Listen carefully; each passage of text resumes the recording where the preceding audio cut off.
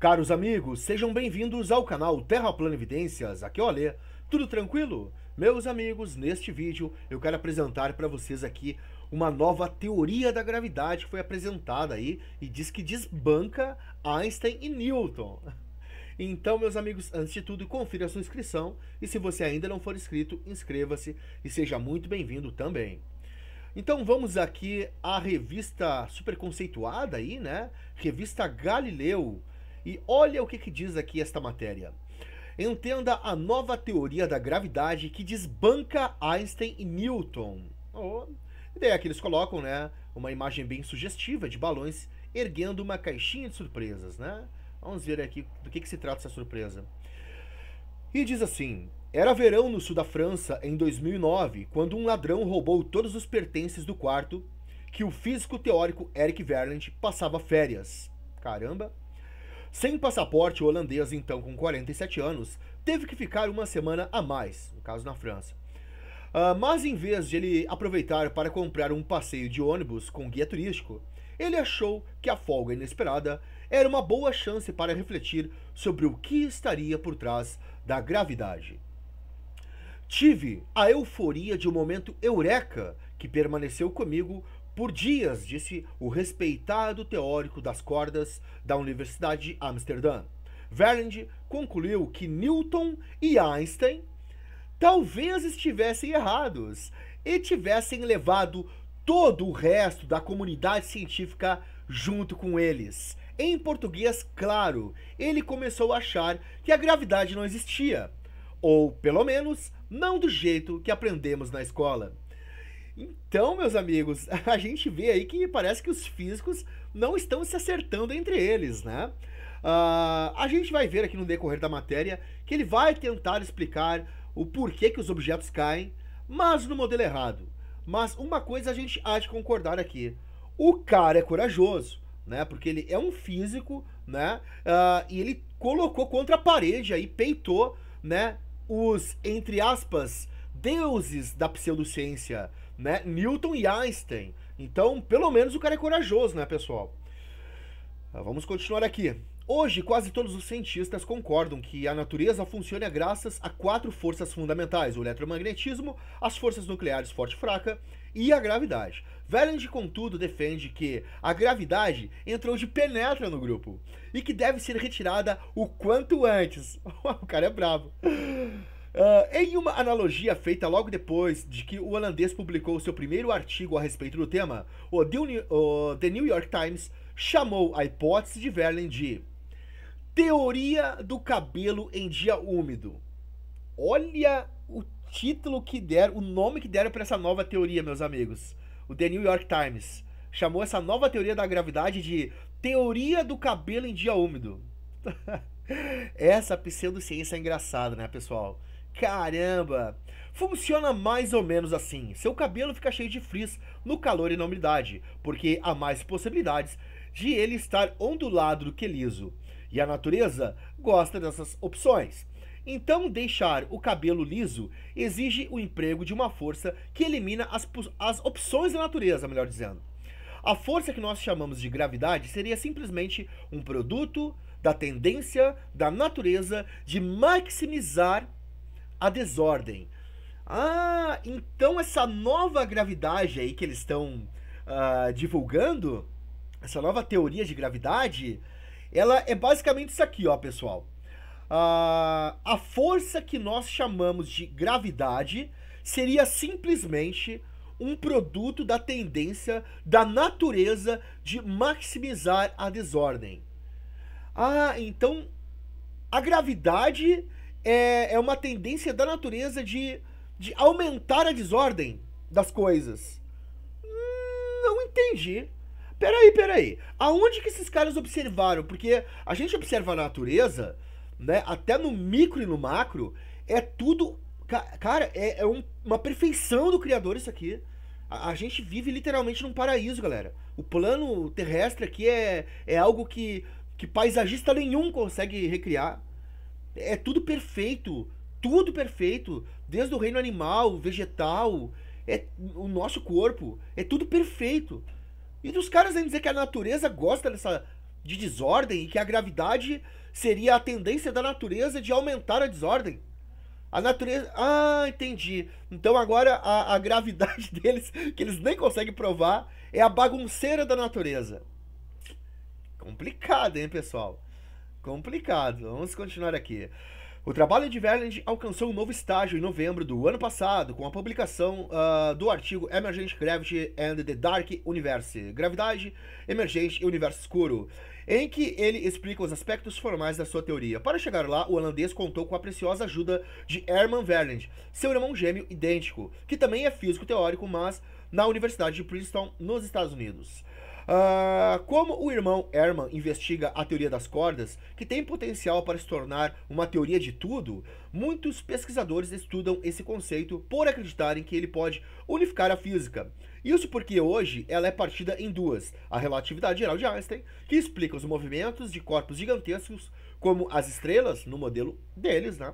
no modelo ficcional, e a mecânica quântica, que regula o universo microscópico de partículas menores do que um átomo. A relatividade geral não é compatível com a mecânica quântica. Os cálculos não se combinam, diz Rogério Rosenfield, diretor do Instituto de Física Teórica da Unesp. As duas teorias funcionam muito bem quando aplicadas no contexto uh, em que foram criadas, mas falham ao serem empregadas uma no campo da outra.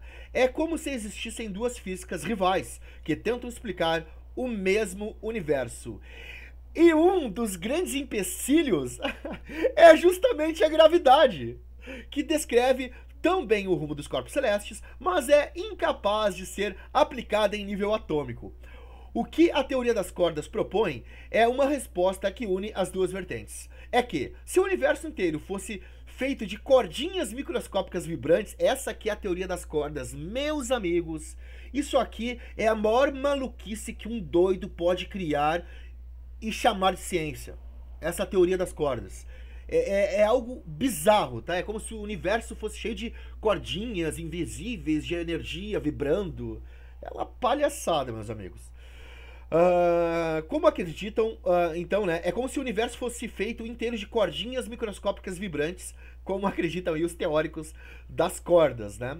A explicação para os movimentos das estrelas e átomos seria a mesma. Mas tem um detalhe: Ninguém consegue provar essa teoria em laboratório. Meus amigos, olhem isso. Os caras estão dizendo isso aqui, ó. Mas ninguém consegue provar essa teoria aí das cordas em laboratório. Ninguém consegue provar a gravidade, a relatividade, teoria das cordas em laboratório. E daí a gente tem que fazer uma pergunta: por quê? E a resposta é muito simples, meus amigos. Porque a ciência de verdade, ela é experimentável, mensurável, observável e reproduzível. Então, por isso que esses caras nunca, jamais, em hipótese alguma, vão conseguir provar essas teorias deles em laboratório, porque isso é pseudociência. É apenas um pensamento deles, né? Então, os, os caras, o que, que eles fazem? Primeiro, eles criam a maluquice, a teoria deles. E daí eles tentam provar e não conseguem. Né? Eles não observam alguma coisa. Né? Então, a ciência verdadeira, você observa, depois você tenta provar aquilo no laboratório, experimentando, observando, mensurando. Não, os caras primeiro criam a teoria, eles criam uma história e depois partem para o segundo passo do método científico, que é a experimentação. Mas eles ficam pulando pé só, ficam pulando na teorização. É muito complicado essa pseudociência moderna aí que a gente vem combatendo, né? Uh, desordem e progresso é das profundezas do, é das profundezas do hipotético e fascinante mundo das cordas que o Verne e outros antes deles acreditam que surge a gravidade, não da atração entre dois corpos, como descreveu Newton, nem da distorção uh, que objetos enormes provocam no tecido espaço-tempo, como define Einstein. É preciso pensar o espaço como sendo feito de unidades de informação, afirma Eric Verland. Então, basicamente, ele acredita que o universo que eles uh, divulgam aí, né? Esse pseudo-universo, é como se fosse um grande computador, assim, uma memória de computador, né?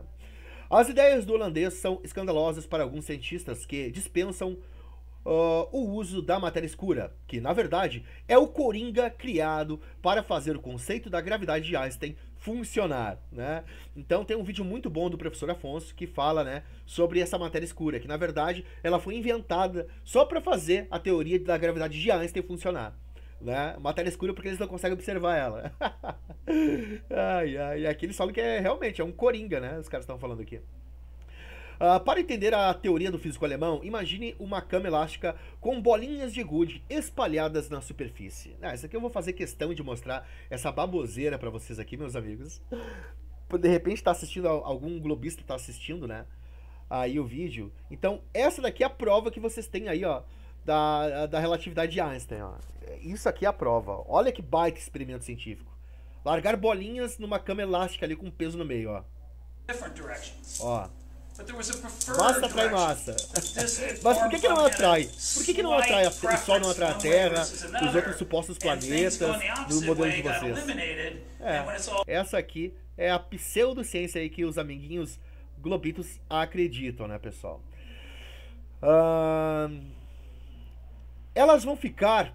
Uh, isso aqui, ó. Então, uh, elas vão ficar paradas, porque todas têm basicamente o mesmo peso. Agora, coloque uh, uma bola de boliche no meio. Isso vai causar uma deformação na superfície do tecido, fazendo com que as bolinhas de gude orbitem a bola de boliche. É, na verdade, elas dão uma pequena orbitada e vão para perto. Vão para perto. Isso no modelos dele, no modelo ficcional aí, heliocêntrico, né? Elas estão sempre girando, nunca chegam perto ali, no caso do que atrai, tá atraindo elas, né? Massa atrai massa, mas no modelo deles não atrai nada, né? Porque senão já era para a Terra estar tá dentro do Sol já, meus amigos, né? É exatamente assim que o sistema solar funciona. Discordo. Segundo a teoria proposta por Einstein, que é a mais aceita até hoje. Quanto mais pesado o objeto, maior a distorção do, no tecido da cama elástica ou do espaço-tempo que ela causa. E é por esse objeto extremamente pesado ou supermaciço que o buraco negro atrai, atrai tudo, tudo para si. Ah, outra coisa aqui, ó, que outro dia eu tava pensando. Vocês já notaram, meus amigos, que jamais um, um astrônomo amador conseguiu observar um buraco negro? Ninguém conseguiu observar um buraco, um buraco negro? Nunca. Ninguém aí que tem telescópio bom nunca conseguiu observar um buraco negro? Pois é, meus amigos. Até o próprio Stephen Hawking, no final da vida dele, falou que buraco negro nem existia, que era apenas uma teoria dele que nunca foi provada e nunca conseguiria ser provada. Né? O problema é que existem uh, distorções do espaço-tempo que os cientistas não entendem. Uh, eles conseguem detectá-las, conseguem ver e alguma que alguma coisa puxa outros corpos para si, mas são incapazes de explicar exatamente por quê. Para piorar, essas bolas de boliche invisíveis representam 27% do universo. em outras palavras, eles não conseguem explicar 27% do universo na teoria deles. Né? Não fecha coisa com coisa. Uh, a elas damos o nome de matéria escura, um conceito que foi verificado pelo astrônomo Fritz Zwick na década de 1930 e confirmado pelo astrônoma, pela astrônoma Vera Rubin nos anos 1970. Combina perfeitamente com a ideia de Einstein, no entanto, ninguém nunca viu, nunca comeu, só ouve falar por meio de observações indiretas. É, é o que está escrito aqui, meus amigos. os caras, os próprios cientistas aí tirando onda um, um dos outros, né? Porque olha o que, que o cara escreveu aqui. No entanto, nunca ninguém viu, nunca comeu e soube falar por meio de observações diretas. Tipo, nunca ninguém viu os troços aí, cara. O que Verland diz é que não existem bolas de boliche invisíveis coisa nenhuma.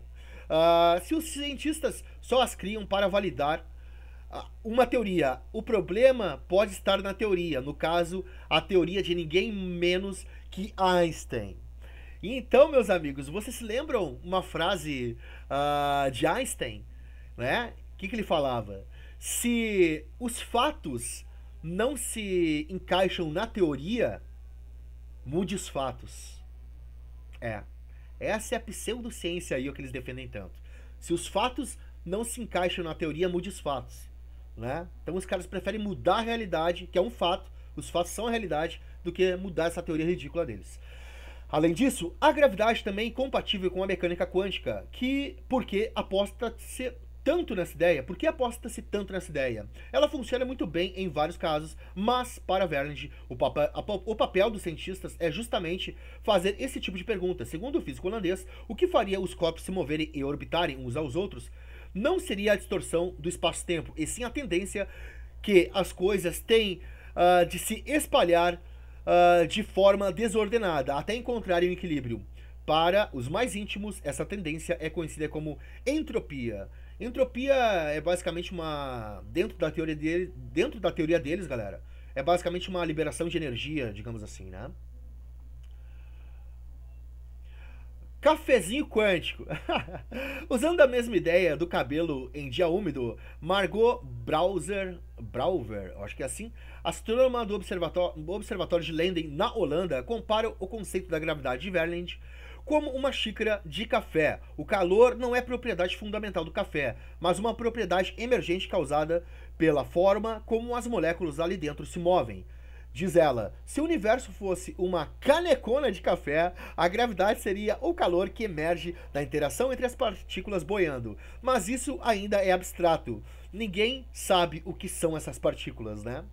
Uh, se for assim, a gravidade e as equações de Einstein podem ser derivadas da velha termodinâmica, aquelas fórmulas que vimos no colégio para explicar como calor e gases se comportam. Foi o que demonstrou um artigo de 1995 do físico Ted Jacobson, na Universidade de Maryland, nos Estados Unidos. Pistas da conexão entre gravidade e termodinâmica surgiram ainda na década de 1970, a partir do estudo dos buracos negros feitos pelos físicos Stephen Hawking, ele mesmo, e Jacob uh, Beckstein. Uh, há indícios de que esta ligação tem a ver com a antropia. Lembra do, do cabelo ondulado? Pois então, em termos científicos, a antropia é o processo pela qual uma sala com átomos de oxigênio amontoados em um canto acabará com eles espalhados por toda parte, até que um equilíbrio seja atingido, como em um ônibus lotado no qual todos saem correndo loucamente para conseguir um espaço. Uh, uh, não existe uma força que espalhe os átomos. O princípio, o princípio que faz isso é a maximização da entropia. Explica Nathan Berkowitz, diretor de divisão sul-americana do Centro Internacional de Física Teórica. A ideia de Verland é usar o princípio da maximização da entropia para substituir a força fundamental de Newton e Einstein, diz o especialista em teoria de supercordas, vertente da teoria das cordas. Einstein pira, diz eles aqui. É dos buracos negros que veio a outra ideia mirabolante de que está no cerne da gravidade de Verge, o princípio holográfico proposto uh, pelo Nobel de Física holandês Gerard uh, Hooft, eu acho que é assim que se fala, uh, que não por acaso orientou o mestrado de Verge. O princípio holográfico sugere que as coisas tridimensionais são feitas de informação e que essa informação uh, fica decodificada em uma superfície bidimensional uh, seria como sombras projetadas em uma parede. O mesmo ocorreria nos buracos negros. A informação que cai lá dentro fica guardada em suas dimensões no horizonte de eventos. O limite que separa o que está dentro do que está fora. Verge usa essa ideia como base para sugerir que o tecido espaço-tempo não passa de um emaranhado de partículas de informação como as imagens projetadas na parede entrelaçadas. O entrelaçamento quântico faria as partículas trocarem influências de forma instantânea, como uma irmã gêmea que sabe o que a outra sente mesmo estando longe. O problema é que, para uh, por acontecer exatamente no mesmo instante, essa troca de informações vai contra uma das ideias mais elementares de Einstein, a de que nada pode ser mais rápido do que a velocidade da luz. Para Vernet, a gravidade surgia, surgiria uh, de interações microscópicas pouco compreendidas entre essas partículas da informação e da entropia. Em dezembro de 2018, uma equipe liberada pela astrônoma Margot Brouwer, eu acho que é assim, tá, pessoal? Publicou uma pesquisa que foi o primeiro teste sério da ideia de Verge. E eles se saíram bem, explicaram a distribuição da massa de mais de 30 mil galáxias. Poxa vida! Então, que, então surge uma nova teoria da gravidade e ela já dá explicação para mais de 30 mil galáxias. Meus amigos, é, tipo, assim, a ciência ela tem que ser observável, mensurável, como eu já falei. Quem que foi lá nessas galáxias? É, meus amigos. Os caras conseguiram já é, bater martelo aí que essa nova gravidade explica muito bem 30 mil galáxias. Puxa vida. Complicado, hein, pessoal? Essa é a famosa ficção científica, meus amigos. Mas nem tudo é motivo para comemorar. Em outro estudo feito pela Universidade da Califórnia, uh, em, da Califórnia em Los Angeles, este com as órbitas dos planetas do Sistema Solar, a teoria de Verland falhou miseravelmente. A discrepância dos dados foi enorme. Uh, foi como se um político dissesse que tem um dólar, um real, em sua conta na Suíça, quando na verdade tem 10 milhões. A teoria de Verland precisa ser abandonada como descrição da natureza ou modificada, diz o físico Aurelian Hess, uh, coautor do estudo. Há décadas, físicos tentam modificar conceitos clássicos da gravidade, mas nenhuma proposta funciona tão bem em todas as escalas como o paradigma da matéria escura descartada por Verling. Acredito nesse tipo de solução que é o melhor, uh, que é a que melhor resolve o problema, diz o astrofísico italiano Fabio Locua, pesquisador da Unesp. Ele valoriza os esforços do colega holandês, mas mantém o pé atrás. Um trabalho teórico muito bom não significa que seja fisicamente correto. Uh, um dos poucos brasileiros que trabalham com a gravidade de Verland, o físico Fábio dos Anjos, problematizou no mestrado a questão da matéria escura. Pensar fora da caixa gera resistência àqueles que acham que não vai dar em nada. Pondera. Ele diz ficar aflito com o fato de que experimentos ultra caros tentam há anos detectar partículas da matéria escura e não conseguem. Nem o LHC, o maior acelerador de partículas do mundo, encontrou nada.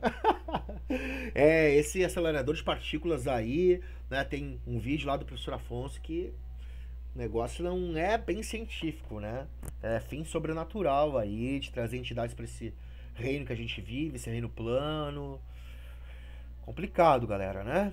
Uh, então, a gente vai continuando aqui, só pra. Já tá terminando, só pra gente ver essa nova teoria da gravidade. De qualquer jeito, uh, se Verdi quiser mesmo derrubar Newton e Einstein de seus pedestais, uh, olha só, hein? Como eu falei, entre aspas, são os deuses da, pseudo, da pseudociência, né? Da ciência moderna. Newton e Einstein, né? Os caras colocam eles mesmo, esses dois, em pedestais terá de ajustar sua teoria para que explique desde o sistema solar até as galáxias distantes e as flutuações na radiação cósmica que preenche o universo. Há um longo caminho pela frente e só uma certeza: nossas coisas vão continuar caindo. E daí aqui, galáxias. Teorias gravitacionais precisam explicar dados de velocidade, de rotação e distribuição de massa em galáxias e aglomerados de formatos variados. Uh, radiação cósmica de fundo, outro meio de testar ideias sobre a gravidade e analisar flutuações nos raios cósmicos que permeiam o universo, herança direta do Big Bang. Outra mentira. Estrutura em grande escala. Para ser aceita, uma teoria da gravidade deve explicar como se formam os superaglomerados e filamentos da, de galáxias no cosmos. Uh, órbitas do sistema solar. Pela proximidade do Sol, a órbita de Mercúrio é um pouco distorcida, fenômeno chamado de precessão do periélio. Calculá-lo permite testar teorias da gravidade. Ondas gravitacionais são o mais novo teste. Explosões violentas e objetos enormes emitem ondas no espaço-tempo que contam coisas sobre a gravidade. Lado A e lado B da gravidade. Há décadas, físicos teóricos tentam explicar modificações nos conceitos da gravitação de Newton e de Einstein para resolver seus problemas. Uh, tentativa 1. Por mais de dois séculos, a lei de gravitação universal de Newton reinou. Segundo ela, partículas se atraem por uma força proporcional à massa. Tentativa 2. Então veio a relatividade geral. No início do século passado, Einstein explicou o espaço-tempo como sendo um tecido que pode ser distorcido e gerar a gravidade. Tentativa 3. Em 1981, Mordecai Milgrom uh, criou a dinâmica newtoniana modificada, MOND. sigla MOND, que muda leis de Newton e aplica a rotação, explica, melhor dizendo, a rotação de galáxias uh, sem adicionar matéria escura. Tentativa 4 surge de estudos sobre buracos negros, aponta a conexão entre gravidade e termodinâmica, diz, uh, diz que a gravitação não é fundamental. Verge inclui outros conceitos. Fundamental ou emergente. Entenda as diferenças entre as gravidades propostas por Einstein e Verlange. Einstein, a relatividade geral, define gravidade como uma força fundamental que se propaga pelo espaço-tempo. Ela é criada pela distorção dos corpos maciços, provocando, provocam que provocam uh, nesse tecido buracos negros como os da imagem abaixo são exemplos tão extremos do fenômeno que quebram as equações de Einstein, né? Como eu falei, né? Espaço-tempo, daí aqui no meio seria tipo o nosso Sol que eles explicam para nós e os planetas orbitando, né? Então o Sol, como sendo, tendo maior massa, distorce o espaço-tempo e os outros planetinhas ficam girando aqui, ó, só que nunca chegam perto do Sol, né? Bobagem, pessoal. Verlange, a teoria de Verlange mistura vários conceitos para explicar que a gravidade surgiria a partir da interação microscópica entre supostas partículas do espaço-tempo. As partículas do espaço-tempo seriam uma espécie de unidade de informação da realidade, como os bits da computação. Olha aí. Verlange sugere que esses bits quânticos estão entrelaçados, o que formaria o tecido do espaço-tempo, e a gravidade emergiria da entropia dessas partículas, o princípio que desordena o universo. Né? E daí aqui acaba a matéria, né, pessoal? Então a gente nota, meus amigos, que a gente nós estamos em pleno século 21, tempos de Terra plana, a Terra plana sendo divulgada, né? E os caras não têm uma única prova da existência da gravidade, tá? Um objeto cair é um fato. A maçã de Newton ter caído é um fato. A gravidade é apenas uma teoria que tenta explicar esse fato né? Lá em 2008, no começo de 2008, eu divulguei uma matéria, né, um estudo meu aí uh, nos grupos de WhatsApp, nas páginas de Facebook aqui do canal. Uh, também tem aqui na aba do canal. Uh, eu fiz um, um, um, estudo sobre o que causa mesmo a queda dos corpos. Tem um vídeo aqui no canal também, o mistério da queda dos corpos, né? E ali eu indago, peraí, se a massa de Newton, isso lá em 2018, se a massa de Newton tivesse caído na água, aonde que estaria a gravidade? Porque ela para de cair no momento ali que ela, que ela chega na água. Né? E aí, onde é que está a gravidade? Né? A massa boia na água. Né? Então a gravidade é apenas uma teoria que tenta explicar o fato dos objetos caírem. Né? Então, de repente, uh, agora semana que vem eu faço um, um, vídeo novo, tá, pessoal? Explicando melhor ali uh, o meu estudo sobre a, o mistério da queda dos corpos na Terra plana. Tá bom, pessoal? Então, a gente vai ficando por aqui, só para mostrar agora aí para vocês que tem um novo estudo, né? um novo estudo aí da gravidade, uma nova gravidade, melhor dizendo, né? De Eric Verland, né? A gravidade aí que eles, eles deram o nome de de teoria do cabelo em dia úmido. Ai, meus amigos, os caras tentam explicar as coisas no modelo errado, né? Se eles se empenhassem em explicar por que, um objeto cai no modelo correto, que é a Terra plana, eles nem estariam aí, ó, se contradizendo, se, se, se pelejando aí, né? Ai, a nova teoria que desbanca Einstein e Newton. então, meus amigos, né? Uh, um fato é, as coisas vão continuar caindo pela densidade pela densidade. Né? A densidade ela é experimentada, observada, mensurada, reproduzível. Você pode fazer na sua casa aí uma torre de densidade. Pesquise aí, torre de densidade. É, ba pô, é baita bacana de fazer. Né? Tem um, um canal, uh, Aurora Boreal. Ele fez ontem um vídeo com vários experimentos aí sobre isso. Vou deixar para vocês aí na descrição. Certo? Canal novo, a gente Terra Plana, hein? Então, pessoal, a gente vai ficando por aqui né? Vocês viram aí que é só mais uma teoria sem uma prova empírica, né? Somente teorização. Agora, quando eles vão para a parte, para o segundo passo do método científico, que é a experimentação, eles não conseguem dar esse segundo passo. É complicado, galera. Essa pseudociência que a gente enfrenta, que a gente combate, cara, é ficção científica, é uma loucura. É uma loucura, né? E o fim de toda ela, né, a intenção de toda essa pseudociência, a verdadeira intenção dela é esconder a existência do nosso Criador. Tanto é que eles falam que é o Big Bang que criou tudo, né? Complicado, pessoal. Então, repreendido em nome de Jesus. Tamo junto, pessoal, né? Vamos orar aí para que caia essa pseudociência aí, né? Que, que a verdade venha à tona, né? Que, que seja estabelecido o verdadeiro formato da Terra. Eu creio que um dia vai ser estabelecido. Eu creio, em poucos anos. Eu creio. Tá bom, pessoal? Então a gente vai ficando por aqui, né? Uh, se você ainda não for inscrito, inscreva-se. Confira também a sua inscrição, pessoal. Uh, eu recebo muitas reclamações. Ale, cara, tive que me inscrever de novo. Né? Então confira essa inscrição, o seu sininho. Né? Uma outra coisa, vocês notam que o, o nosso canal aqui, a gente não pede dinheiro. Né? Graças a Deus a gente não pede dinheiro, a gente não precisa, graças a Deus. Mas a única ajuda que a gente pede, galera, é para você. A única ajuda que a gente precisa é você deixar o seu joinha e você compartilhar nossos vídeos. Essa é a ajuda que a gente precisa. Né? A gente sofre sim boicote do YouTube, né? perseguição, faz parte, a gente é contra o sistema, o sistema é contra nós.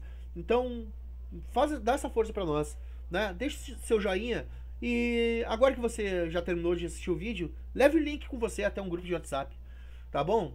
Então, Criador abençoe aí, fiquem todos com Deus e a gente vai ficando por aqui. Valeu! Obrigado, pessoal!